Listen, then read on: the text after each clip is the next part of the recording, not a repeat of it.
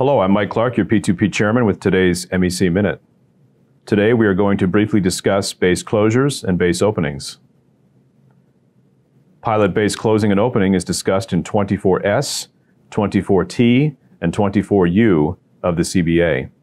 While the union is not able to control which bases open or close, the CBA does require a timely notification and bidding schedule.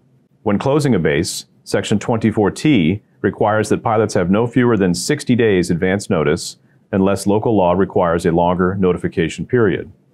With the opening of a new base, Section 24S requires the company to give no fewer than 30 days advance notice of a base opening. When a new base opens, the vacancies in that base will be filled via the annual system bid or a supplemental system bid in seniority order. This is important as all pilots system-wide will have the right to bid into the new base.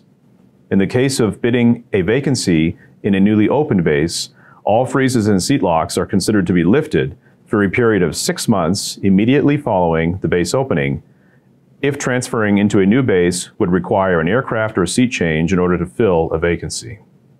Thank you for taking the time to view this video. As always, stay engaged and know your contract. Thank you.